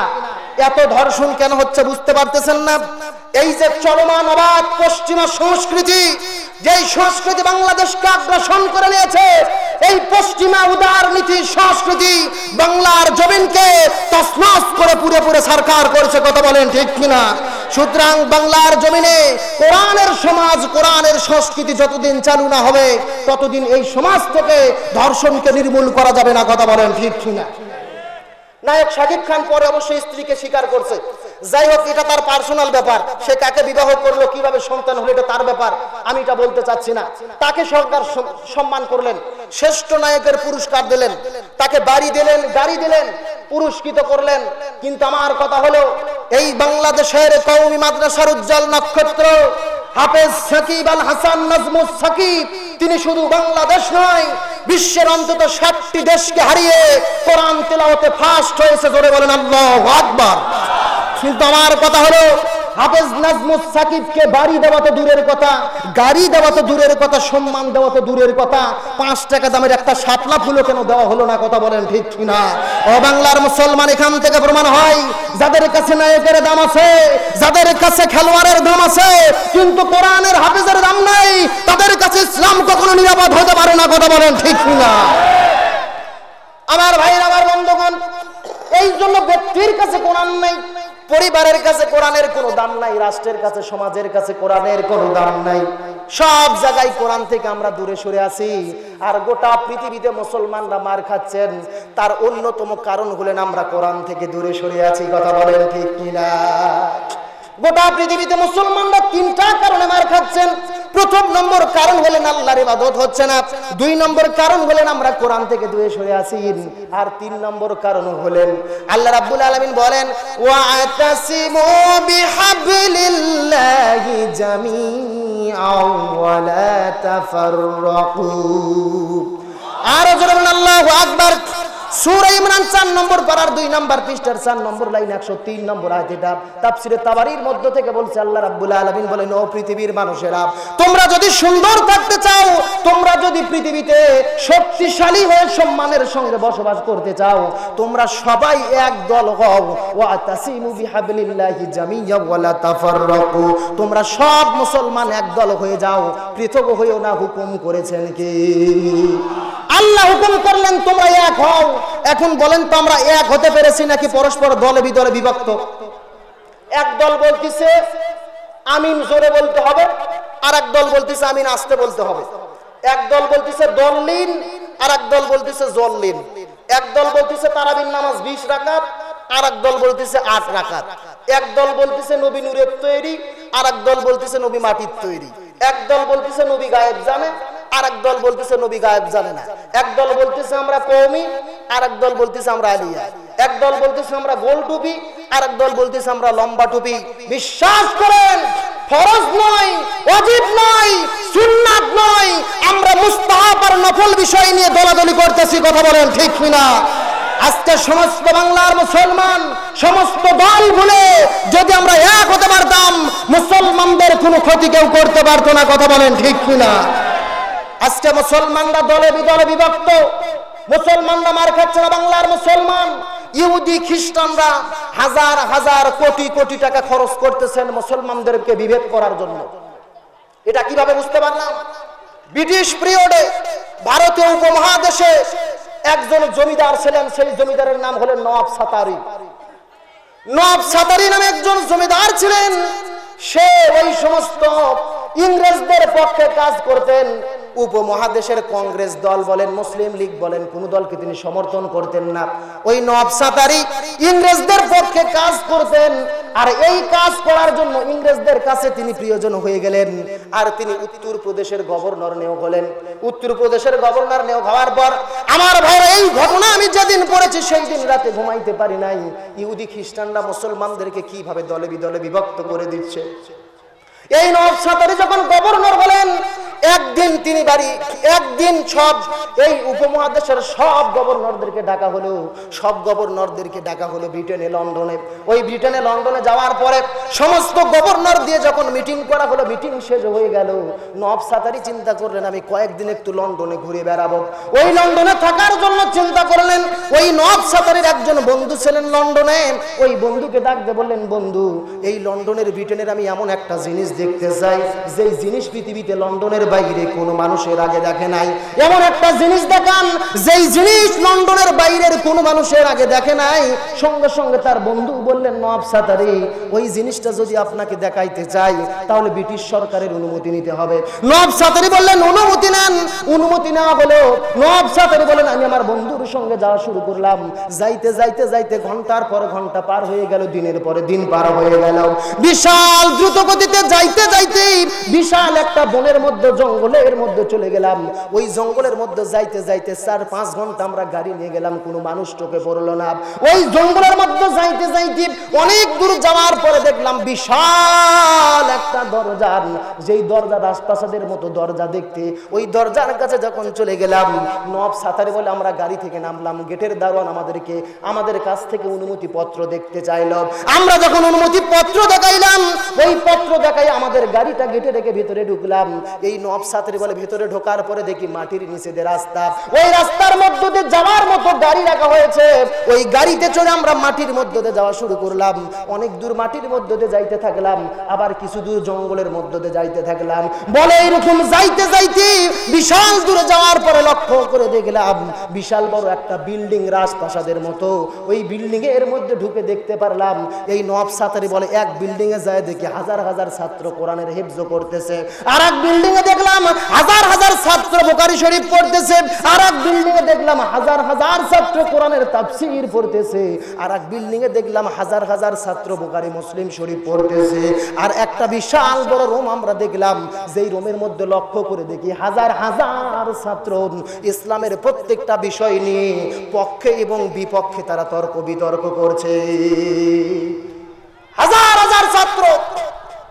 নব সাতারি বলেন, সেখানে ঘুরে ফিরে দেখলাম, ওই বিল্ডিং থেকে বের হওয়ার পরে নব সাতারি তার বন্ধুকে জিজ্ঞেস করলেন বন্ধু এখানে হাজার হাজার ছাত্র কোরআন, হাদিস, ফিকা কেন পড়তেছে? কারণ কি? এমন সময় নব সাতরির বন্ধু নব সাতরিকে বলেছিল, এখানে হাজার হাজার ছাত্র কোরআন পড়তেছে, হাদিস পড়তেছে, ফিকা পড়তেছে বুকারি শরীফ পড়তেছে, মুসলিম শরীফ পড়তেছে। এখান থেকে প্রতি বছর হাজার হাজার মুফতি মহাদ্দেশ ফকি বের হয়। তাদেরকে বিশ্বের বিভিন্ন মুসলমান দেশের মধ্যে পাঠানো হয়। আর তারা সেই দেশের মধ্যে গিয়ে, যেই বিষয় নিয়ে ওই দেশের মধ্যে দ্বন্দ্ব আছে, ওই দেশের মধ্যে গিয়ে পাঁচজন আলেম এই খ্রিস্টানদের তৈরিকৃত পাঁচজন আলেম ইসলামের পক্ষে কথা বলে, ওই বিষয়ের পক্ষে কথা বলে, আর পাঁচজন আলেম ওই বিষয়ের বিপক্ষে কথা বলে জলে বলেন, নাউজুবিল্লাহ। এইরকম ভাবে তারা এজেন্ডা বাস্তবায়ন করছেন, কিছু আলেম দিচ্ছেন যে শুধু তারা বলবে যে না, নামাজ আট রাকাত। আর কিছু আলেম বলবে যে না, তারাবির নামাজ বিশ রাকাত। কিছু আলেম বলবে নবী নূরের তৈরি, আর কিছু আলেম বলবে নবী মাটির তৈরি। কথা বলেন, এইরকম দোলাদলি বর্তমানে আছে না নাই? ও বাংলার মুসলমান, এই ঘটনা আমি প্রথমে ভালোভাবে চিন্তা করতে পারি নাই, ভালোভাবে বিশ্বাস করতে পারি নাই, কিন্তু এর বাস্তব প্রমাণ হয়েছে, এই যে দুই মাস আগের ঘটনা, জামালপুরের বক্সিগঞ্জে একটা খ্রিস্টান ইমাম ধরা পড়েছে, কথা বলেন ঠিক কিনা? আপনারা যারা পত্রিকা দেখেছেন, টেলিভিশনে দেখেছেন, মাসের পরে মাস এই খ্রিস্টান, মুসলমান সেজে মানুষদেরকে নামাজ পড়ায় ইমান ধ্বংস করেছে। ও বাংলার মুসলমান, এই ঘটনা থেকে আমাদের শিক্ষা নিতে হবে। আমাদের মধ্যে দলাদলি করার সময় নাই। আমরা আওয়ামী লীগ হতে পারি, বিএনপি হতে পারি, জামাত, জাতীয় পার্টি হতে পারি। আমরা আলে হাদিস হতে পারি আলে সুন্নাত আল জামাত হতে পারি। আমরা চরমনাই হতে পারি, আমরা কৌমি হতে পারি, আলিয়া হতে পারি। এটা আমাদের বড় পরিচয়, কিন্তু সবচেয়ে বড় পরিচয় হলো আমাদের নাম হলো মুসলমান আর আমাদের মার্কা হলো আল কোরআন কথা বলেন ঠিক কিনা? সুতরাং আমরা আওয়ামী লীগ বিএনপি মতভেদ বুঝি না, জামাত জাতীয় পার্টি মতভেদ বুঝি না এসেছি মুসলমান হিসেবে পৃথিবীতে, মুসলমান হয়ে পৃথিবী থেকে চলে যেতে হবে। সুতরাং সমস্ত ধর্মকে আড়াল করে আমাদের নাম মুসলমান, আমাদের সংবিধান আল কোরআন, এই আল কোরআনকে সংবিধান মেনে নিয়ে সমস্ত দলাদলি, মতভেদ ভুলে এক দল হতে কারা কারা শপথ নিতে রাজি আছেন, আল্লাহর কাছে দু হাত তুলে দেখান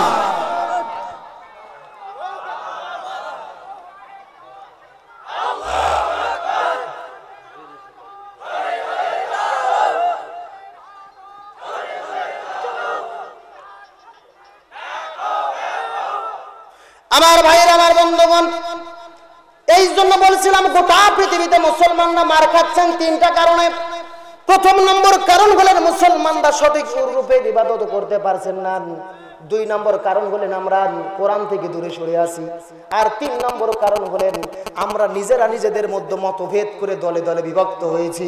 আপনি বিশ্বাস করেন, গোটা পৃথিবীর মুসলমান যদি আজকে ঐক্যবদ্ধ হয়ে তরোয়াল ধরার প্রয়োজন ছিল না, যুদ্ধে নামার প্রয়োজন ছিল না, গোটা পৃথিবীর মুসলমান ঐক্যবদ্ধ হয়ে যদি আজকে সুন্নাতি তরিকায় প্রসাব করতেন, ওই মায়ানমারের বৌদ্ধ সম্প্রদায় প্রসাবের স্রোতে বঙ্গোপসাগরে ভেসে যেত, কথা বলেন ঠিক না সুতরাং আমাদের ঐক্য হইতে হবে আল্লাহ রাব্বুল আলামিন পৃথিবীর মানুষদেরকে হেদায়েত দেওয়ার জন্য পৃথিবীর মানুষকে সঠিক পথে পরিচালিত করার জন্য আল্লাহ রাব্বুল আলামিন পবিত্র কোরআনুল কারীমের মধ্যে ঘোষণা করেছেন قل إن كنتم تحبون الله فاتبعوني يحببكم الله ওয়াগফির লাকুম যুনুবাকুম আল্লাহু গফুরুর রহিম আর জোরে বলুন আল্লাহু আকবার। ইমরান 3 নম্বর পারার 13 নম্বর পৃষ্ঠার 4 নম্বর লাইন 4 নম্বর করে 31 নম্বর কুরতুবি মনির মারিফুল কোরআন খাজেন তাবারি কোরআন তাফহিমুল কোরআন। এই আয়াতকে সামনে রেখে অন্তটা 10টা তাফসির গ্রন্থ আমি দেখেছি। এই আয়াতের মধ্যে আল্লাহ তাআলা এত পরিমাণ কথা বলেছেন। এই আয়াতকে সামনে রেখে বর্তমান প্রেক্ষাপটকে মিল করে যদি আলোচনা শুরু করা হয়, আলোচনা চলতে চলতে দিনের পরে দিন চলে যাবে, মাসের পরে মাস চলে যাবে, তারপরে ওই আয়াতের আলোচনা করে শেষ করা যাবে না বলেন না মার আল্লাহ রাব্বুল আলামিন বললেন, কুল, হে রাসূল, আপনি বলেন, আল্লাহ আদেশ করলেন আমরের সিগা ব্যবহার করে। হে রাসূল, আপনি মানুষদেরকে বলেন, মানুষেরা যদি আমার ভালোবাসা পেতে চায়, আমার সান্নিধ্য লাভ করতে চায়, সন্তুষ্ট অর্জন করতে চায়, ফাত্তাবিউনি, তাহলে তারা যেন আপনাকে অনুসরণ করে, জোরে বলেন, কি করে? তারা যেন আপনাকে অনুসরণ করে। আল্লাহ কিন্তু এখানে হাবজন দেন নাই, ভালোবাসার কথা বলেন নাই। অনেকেই মুফাসসির কিরাম এখানে তাফসীর করেন, তাহলে তারা যেন আপনাকে ভালোবাসে। শুধু নবীকে ভালোবাসলে হবে না। তা বা আইন, এই তিনটা অক্ষরের সমন্বয়ে গঠিত তাবুন নবীকে শুধু ভালোবাসলে হবে না, নবীকে অনুসরণ করতে হবে, কথা বলেন ঠিক কিনা? অবশ্যই নবীকে ভালোবাসবেন, নবীর ভালোবাসা অন্তরে আমাদের অবশ্যই থাকবে। নবীর ভালোবাসা থাকতেই হবে, কিন্তু শুধু ভালোবাসা দিয়ে হবে না। ভালোবাসার সঙ্গে সঙ্গে নবীকে অনুসরণ করতে হবে। নবীকে অনুসরণ করবেন কীভাবে? নবী যেই রকম খাইছেন, সেইভাবে খাবার নাম হলেন অনুসরণ। নবী যেই রকম ভাবে ঘুমাইছেন সেই রকম ভাবে ঘুমানোর নাম হলেন অনুসরণ। নবী যেইভাবে জিহাদের ময়দানে জিহাদ করেছেন, সেইভাবে জিহাদ করার নাম হলেন অনুসরণ। নবী যেই রকম ভাবে রাষ্ট্রপতি ছিলেন, সেই রকম ভাবে রাষ্ট্রপতি হওয়ার নাম অনুসরণ। নবী যেই রকম ভাবে দেশ পরিচালনা করেছেন, ওই রকম ভাবে দেশ পরিচালনা করার চালনা করার নাম হলেন অনুসরণ। তার মানে নবীর জন্ম থেকে শুরু করে মৃত্যু পর্যন্ত নবী যা যা করেছেন, সব কিছু করার নাম হলেন অনুসরণ। আমার ভাই আমার বন্ধুগণ কিন্তু নবীকে আল্লাহ অনুসরণ করার কথা বললেন। আমরা যদি আল্লাহর কাছে জিজ্ঞাসা করি রাব্বুল আলামিন, আপনি তো নবীকে অনুসরণ করার কথা বললেন, কিন্তু আমরা নবীকে কীভাবে অনুসরণ করতে পারি? এই ব্যাখ্যা আল্লাহ তাআলা মানুষের কাছে ছেড়ে দেন নাই, আল্লাহ নিজেই ব্যাখ্যা করছেন। আল্লাহ তাবুন কীভাবে করতে হবে? এই ব্যাখ্যা নিজেই পবিত্র কুরআনুল কারীমের মধ্যে করে আল্লাহ রাব্বুল আলামিন ঘোষণা করেছেন। ওয়া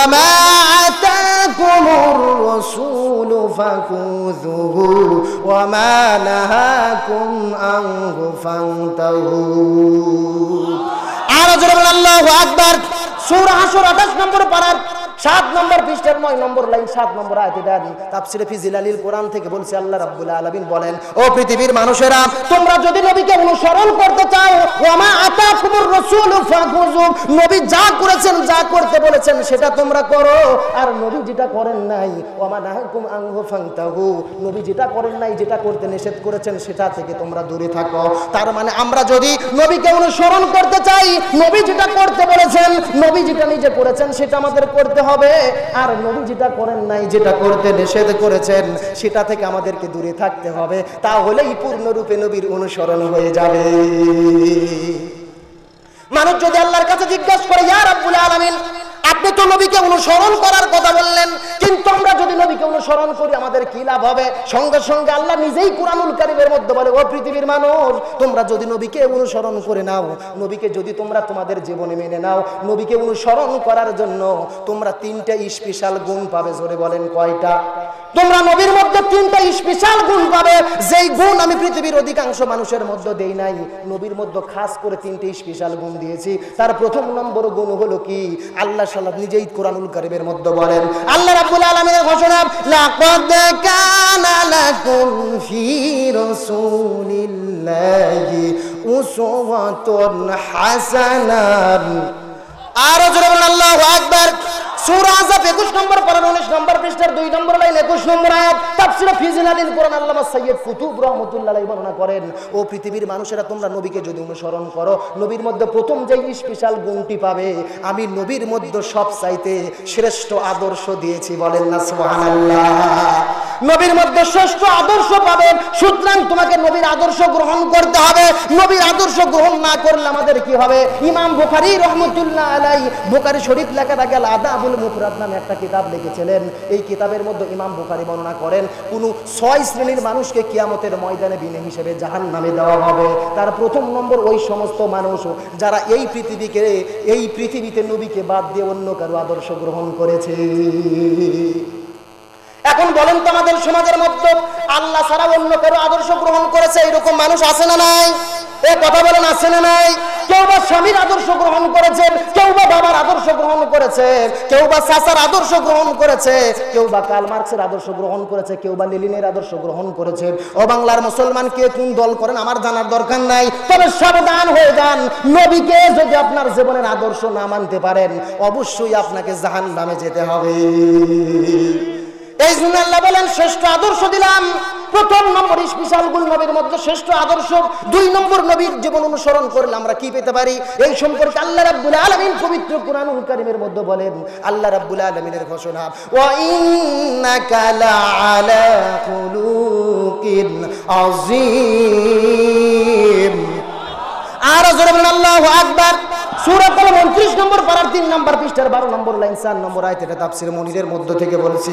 আল্লাহ রাব্বুল আলামিন বলেন, ও পৃথিবীর মানুষরা, তোমরা যদি নবীকে অনুসরণ করো, নবীর জীবনকে মেনে নাও। নবীর জীবনের মধ্যে থেকে তোমরা শ্রেষ্ঠ চরিত্র পেয়ে যাবে। আম্মাজান মায়েশা সিদ্দিকা রাদিয়াল্লাহু তাআলাকে জিজ্ঞাসা করা হলো, নবীর চরিত্র কেমন ছিল? সঙ্গে সঙ্গে সিদ্দিকা রাদিয়াল্লাহু তাআলা বলেন, তোমরা কি তোমরা কি কোরআন পড়ো নাই? কোরআন সম্পর্কে জ্ঞান রাখো না? সাহাবীরা বলে হ্যাঁ আমরা কোরআন পড়েছি। আম্মাজান মায়েশা বর্ণনা করে বলেন, এই কোরআন দেখতে যেমন আমার নবীও ছিল সুতরাং তিন নম্বরে শ্রেষ্ঠ চরিত্র পাবো, দুই নম্বরে শ্রেষ্ঠ চরিত্র পাবো, তিন নম্বরে নবীর জীবন থেকে আমরা কি পেতে পারি? এই সম্পর্কে আল্লাহ রাব্বুল আলামিন পবিত্র কোরআনুল কারীমের মধ্যে বর্ণনা করে বলেন, আল্লাহ রাব্বুল আলামিনের ঘোষণা, ওয়া মা আরসালনাকা ইল্লা রাহমাতাল লিল আলামিন। সূরা আম্বিয়া 17 নম্বর পারার 13 নম্বর পৃষ্ঠার 6 নম্বর লাইন 107 নম্বর আয়াত। আল্লাহ রাব্বুল আলামিন বলেন, ও মানুষেরা, তোমরা যদি নবীর জীবনকে মেনে নাও, আদর্শ গ্রহণ করো। নবীকে যদি তোমরা অনুসরণ করো, আর নবীর আদর্শকে যদি তোমরা গ্রহণ করো, আর নবীর চরিত্রের মতো যদি তোমাদের চরিত্র হয়। আমি পৃথিবীতে রহমত এই বিশাল আসমান বলেন, জমিন বলেন, গ্রহ বলেন, নক্ষত্র বলেন, জ্যোতিষ্ক বলেন, নিহারিকা বলেন, এই ভূমণ্ডল বলেন, নবমণ্ডল বলেন, সমস্ত জগতের রহমত আমি নবীকে বানাইছি। সুতরাং নবীকে যদি তোমরা অনুসরণ করো, নবীকে অনুসরণ করার কারণে আমি আল্লাহ রাব্বুল আলামিন ওই নবীর রহমতের সাগরে তোমাদেরকে ভাসাইতে ভাসাইতে আমি জান্নাতে দিয়ে দিব। প্রাণের নাবি গম, আপনি হলেন আমার জীবনের জীবন। সবাই একসঙ্গে নবীর মহব্বতে গান, প্রাণের নবী নবী আপনি হলেন আমার জীবনের জীবন। রহমাতাল্লিল আলামিন, আপনি উম্মাতের জামিন। আপনি হলেন আমার নির্ধনের নির্ধন। প্রাণের নাবি নাবি গ, আপনি হলেন আমার মক্কা মরুভূমিতে মা আমেনার জিন্ন কুটিরে মক্কা মরুভূমিতে মা আমেনার জিন্ন কুটিরে হইলেন আমার নবীর আগমন, প্রাণের নবী নবী গো। আপনি হলেন আমার জীবনের জীবন, প্রাণের নবী নবী গো। আপনি হলেন আমার জীবনের জীবন। আমার ভাইরা আমার বন্ধুগণ, এই পৃথিবীতে নবী এমন একটা সময় জন্মগ্রহণ করলেন। নবী জন্মের পূর্বেই তার বাবা পৃথিবী থেকে বিদায় নিয়ে চলে গেল। তার কয়েক বছর পরে তার মাও পৃথিবী থেকে বিদায় নিয়ে চলে গেলেন। নবী চলে গেলেন তার দাদার কাছে। কয়েকদিন পরে তার দাদাও পৃথিবী থেকে বিদায় নিয়ে চলে গেলেন। আমার নবী চলে গেলেন তার চাচা আবু তালিবের কাছে। কয়েক বছর পর চাচা আবু তালিব পৃথিবী থেকে চলে গেলেন। আমার নবী এতিম অবস্থায় পৃথিবীতে আগমন করেছে শিশুকালে মইরা গেছে মা গর্বে থাকতে মরছে পিতা নবী, চোখে দেখিলেন নাম। আমায় কে করিবে লালন পালন, কে দিবে সান্ত্বনা এই দুনিয়ার বড় এতিম নবী ছিলেন একজনা। আমার নবী পৃথিবীতে এতিম অবস্থায় আসলেন। নবী পৃথিবীতে এত সুন্দরভাবে বসবাস করলেন। ওই সমাজের নবীর প্রতি যখন মানুষের ভালোবাসা বেড়ে গেল নবী এত সুন্দর ব্যবহার করেছেন। নবীর ভালোবাসায় মুগ্ধ হয়ে তারা নবীকে উপাধি দিলেন আলামিন। নবীকে বললেন, সিদ্দিক, নবীকে বললেন, আলামিন, তারা তাদের সমস্ত সম্পদ, আমার নবীকে গচ্ছিত রাখার জন্য নবীর কাছে সমস্ত সম্পদ রেখে দিত। আমার নবীকে বললেন, তারা আলামিন, এইরকম ভাবে আমার নবী ওই সমাজের মধ্যে বসবাস শুরু করলেন। কিছুক্ষণ পরে, কয়েকদিন পরে আল্লাহর পক্ষ থেকে রিসালা প্রাপ্ত হলেন।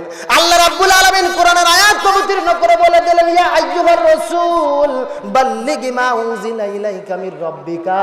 হে রাসূল, আমি আপনার প্রতি যে কোরআন আপনি সেই কোরআনের তাবলীগ করেন। আল্লাহ বলেন, হে রাসূল, আমি যেই কোরআন আপনাকে দিয়েছি, সেই কোরআনের তাবলীগ করেন। নবী তাবলীগ করার জন্য সাফা পাহাড়ের পাদদেশে দাঁড়িয়ে গেলেন। সাফা পাহাড়ের পাদদেশে দাঁড়িয়ে বিশাল একটা লাল কাপড় উড়িয়ে দিলেন। ওই সময়ের সব চাইতে বড় প্রযুক্তি ছিল লাল কাপড় উড়ানো। লাল কাপড় উড়ে দিলে চতুর্পাশের হাজার হাজার মানুষ ওই পাহাড়ের পাদদেশে চলে আসতেন। সবাই চিন্তা করতেন, মনে হয় কোনো দুর্ঘটনা ঘটেছে, কোনো ঘটনা আছে। হাজার হাজার মানুষ পাহাড়ের পাদদেশে চলে আসলেন। এমন সময় রসুল ডাকতে বললেন, ও কমের মানুষেরা, আমি যদি তোমাদেরকে বলি, ওই পাহাড়ের পাদদেশে বিশাল একটা শত্রু বাহিনী আছে, তোমরা কি বিশ্বাস করবে? সমস্ত মানুষ বলে, তুমি আলামিন, তুমি সিদ্দিক, তুমি কখনো মিথ্যা কথা বলো না। তোমার কথা আমরা বিশ্বাস করব। এমন সময় রসুল ডাকতে বলে, ও কমের মানুষেরা, আমার কথা শুধু বললেই যদি তোমরা বিশ্বাস করো, তাইলে মনোযোগ দিয়ে শুনে নাও। এই পৃথিবীর সবচাইতে সত্য, সুন্দর কথা বলি। এই বিশাল আসমান বলো, বিশাল জমিন বলো, গ্রহ বলো, নক্ষত্র বলো সব কিছু আল্লাহ রাব্বুল আলামিন সৃষ্টি করেছেন। সুতরাং তোমরা মূর্তির পূজা বাদ দিয়ে এক আল্লাহর ইবাদত করো। সঙ্গে সঙ্গে তারা নবীকে বললেন, মোহাম্মদ, তুমি কাজ্জাব। জোরে বলেন, নাউজুবিল্লাহ। মোহাম্মদ তুমি মাজনুন, মোহাম্মদ তুমি মিথ্যাবাদী, মোহাম্মদ তুমি কাজাবা নবীর বয়স যখন ছিল 20 বছর, তখন তারা নবীকে বললেন আলামিন। নবীর বয়স যখন 25 বছর, তখন তারা নবীকে বললেন আলামিন। নবীর বয়স যখন চল্লিশ বছর, নবীর প্রতি আল্লাহর পক্ষ থেকে কোরআন নাজিল হয়ে গেলেন। আল্লাহর পক্ষ থেকে রিসালা প্রাপ্ত হলেন। এই কোরআন পাওয়ার পরে নবী যখন দাওয়াত দিয়েছেন, তখন তারা নবীকে বলেছেন, পাগল নবীকে বলেছেন, মিথ্যাবাদী। এখান থেকে বোঝা যায়, আপনিও যদি কোরআনের পক্ষে থাকেন, হকের পক্ষে থাকেন, আল্লাহর জমিনে আল্লাহর দিন কায়েমের কথা বলেন। নবীর তরিকায় স্বাধীনতার পঁয়তাল্লিশ বছর পর আপনাকেও কিন্তু আজাকার উপাধি দিতে পারে। নবীকে বললেন, তারা পাগল, নবীকে বললেন, তারা মজনুন নবী তারপর দিনের দাওয়াত দেওয়া ছাড়লেন না। নবী দিনের দাওয়াত দেওয়ার জন্য তাইফের ময়দানে চলে গেলেন। ওই তাইফের ময়দানে দিনের দাওয়াত দেওয়ার জন্য তাকে পাথরের পরে পাথর মারা শুরু করলেন। ওই পাথরের আঘাত গাইতে গাইতে আমার নবী মাটিতে অজ্ঞান হয়ে পড়ে গেছেন। অজ্ঞান হয়ে পড়ে গিয়ে নবীর শরীর থেকে রক্ত প্রবাহিত শুরু হয়ে গেছে। কিছুক্ষণ পরে নবীর আবার হুঁশ হয়েছেন, আবার নবীকে পাথর মারা শুরু করেছে। নবী পাথরের আঘাত থেকে অজ্ঞান হয়ে পড়ে গেছেন। এখন আপনাদেরকে জিজ্ঞাসা করি, বলেন তো নবীকে যে তারা পাথর মেরে রক্তাক্ত করেছেন, নবী কি চোর ছিল? কথা বলেন, চোর ছিল, ডাকাত ছিল, নারী ধর্ষণ করেছিল, রাজাকার ছিল। তাহলে কি জন্য মারা হয়েছে বলেন তো? কোরআনের দাওয়াত দেওয়ার জন্য, হক কথা বলার জন্য। এখান থেকে বোঝা যাচ্ছে আপনিও যদি কালেমার উত্তর শরীর হন, নবীকে অনুসরণ করতে চান, আল্লাহর জমিনে আল্লাহর দিন কায়েমের কথা বলেন, নবীর তরিকায় আপনাকেও রক্ত ঝরানো লাগতে পারে। নবী তাইফের ময়দানে রক্ত ঝরালেন। নবী সেখান থেকে চলে আসলেন, দিনের দাওয়াত দেওয়া ছাড়লেন না। নবীকে বিতাড়িত করার জন্য জেলখানার মধ্যে বন্দি করলেন। নবীকে দিনের দাওয়াত দেওয়া থেকে বিরত রাখার জন্য জেলখানার মধ্যে বন্দি করলেন। যে জেলখানার নাম হলো শিবে আবু তালিব, জোরে বলেন নাম কি? ওই শিবে আবু তালিব নামক জেলখানার মধ্যে বন্দি করলেন। দিনের পরে দিন যায়, মাসের পরে মাস যায়। নবীকে খাবার দেয় না, সাহাবাই কিরামদেরকে খাবার দেয় না। এই পৃথিবীতে এমন কোনো জেলখানা নাই, যেই জেলখানায় দিনে অন্তত একবার খাইতে দেওয়া হয় না। কিন্তু দিনের পরে দিন গেছে, মাসের পরে মাস গেছে সাহাবাই কিরাম বলে, বছরের পর বছর পার হয়ে গেছে। ওই সাহাবিদেরকে খাবার দেওয়া হয় নাই। সাহাবিরা না খেয়ে না খেয়ে গাছের পাতাগুলো চিবিয়ে চিবিয়ে খেয়েছে। এখন আপনাদের জিজ্ঞাসা করি, বলেন তো, নবীকে যে তারা জেলখানায় বন্দি করলেন, নবী কি চোর ছিল? কথা বলেন, চোর ছিল। ডাকাত ছিল। নারী ধর্ষণ করেছিল। তাহলে কি জন্য জেলখানায় বন্দি করল, বলেন তো? হক কথা বলার জন্য, কালেমার দাওয়াত দেওয়ার জন্য। এখান থেকে বোঝা যাচ্ছে আপনিও যদি নবীকে অনুসরণ করতে চান আল্লাহর জমিনে আল্লাহর দিন কায়েমের কথা বলেন, নবীর তরিকায় আপনাকেও জেলখানায় যাওয়া লাগতে পারে। নবী কেন তাইফের ময়দানে রক্তাক্ত হলেন? নবী কেন উহুদের ময়দানে দমদম মুবারক শহীদ করে দেওয়া হলো? নবীকে কেন জেলখানায় বন্দি করা হলো? নবীকে কেন ঘর বাড়ি সারা করানো হলো? কোরআনের দাওয়াত আছে যেখানে, মার আছে সেখানে। যেই দাওয়াতে মার নাই, মনে করবেন সেই দাওয়াতে কোরআন নাই, কথা বলেন ঠিক কিনা? নবীকে তাইফের ময়দানে রক্তাক্ত করা হয়েছে। জেলখানায় বন্দি করা হয়েছে ঘর বাড়ি ছাড়া করানো হয়েছে। নবী যুদ্ধপ্রতি ছিল না, নবী নারী ধর্ষণ করেন নাই, নবী রাজাকার ছিল না, নবীকে রক্ত কেন ধরানো হলো, নবীকে কেন ঘর বাড়ি ছাড়া করানো হলো, নবী কেন জেলখানায় বন্দি হলেন, নবী কোরআনের দাবাত দিয়েছেন, নবী মার খেয়েছেন, নবী কোরআনের দাবাত দিয়েছেন ঘর বাড়ি ছাড়া হয়েছে, নবী কোরআনের দাবাত দিয়েছেন, নবী শত্রু হয়েছে, কথা বলেন ঠিক কিনা? সুতরাং আপনিও যদি কোরআনের দাবাত দেন, আপনার উপরে বাধা আসবেই। কিন্তু বাংলাদেশের এক দল আছে, বলে আমরা মানুষদেরকে দিনের পথে ডাকি ইমান আমুলের পথে ডাকি, আমরা দিনের দিকে ডাকি, আমরাই সঠিক পথে আছি, এইরকম একটা দল আছে না নাই? এরা শুধু চোখের পানিতে সমাজের মধ্যে ইসলাম প্রতিষ্ঠিত করতে চায়, তবে জেনে রাখা দরকার, শুধু চোখের পানিতে সমাজ ইসলাম প্রতিষ্ঠা হবে না, ইসলাম প্রতিষ্ঠার জন্য রক্তের ফোঁটা প্রয়োজন, কথা বলেন ঠিক কিনা? একটা গাছকে রোপণ করার জন্য গাছ যেন মারা না যায় প্রথমে সকাল, বিকাল প্রতিদিন পানি দিতে হয়। তারপরে সপ্তাহে দুই দিন পানি দিতে হয়। তারপরে মাসে পানি দিতে হয়। বছরের সিজনে সিজনে যখন খরা মৌসুম, তখন গাছের গোড়ায় পানি দিতে হয়। গাছ যেন জীবিত থাকে কথা বলেন ঠিক কিনা? গাছের গোড়ায় যেমন পানি দিয়ে গাছকে জীবিত রাখতে হয়, ইসলাম নামক গাছকে টিকে রাখার জন্য ইসলাম নামক গাছের গোড়ায় রক্ত দিতে হয় কথা বলেন ঠিক কিনা? ইসলাম নামক গাছকে রোপণ করে সর্বপ্রথম তাইফের ময়দানে আমার নবী রক্ত দিয়েছেন। সেই ধারা প্রবাহিত হতে হতে আমার নবী উহুদের ময়দানে রক্ত দিয়েছেন। সেই আবু তালিব জেলখানায় রক্ত দিয়েছেন। সেই ধারা প্রবাহিত হতে হতে সাহাবাই কিরাম রক্ত দিয়েছেন।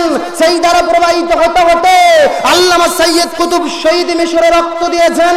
সেই ধারা প্রবাহিত হতে হতে আল্লামা শাহ মুহাদ্দিস দৌলভী রহমতুল্লাহ আলাই বালাকোটের ময়দানে রক্ত দিয়েছেন। কথা বলেন ঠিক কিনা?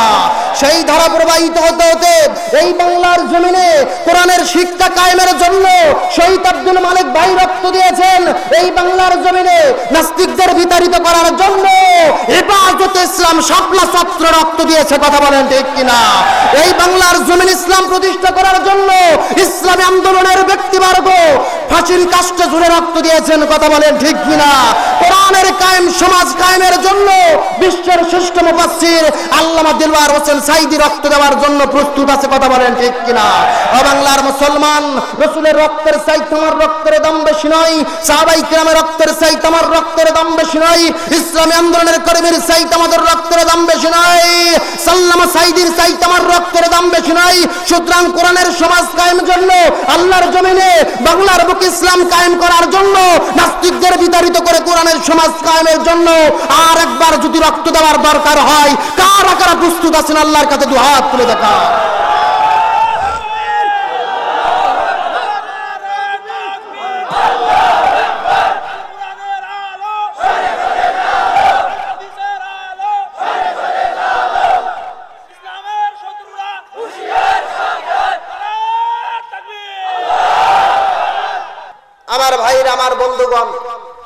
আপনারা কি মন খারাপ করলেন?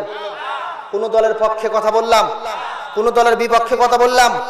কোরআনের যেই কথা, সেই কথা আমাকে বলতেই হবে, কথা বলেন ঠিক কিনা?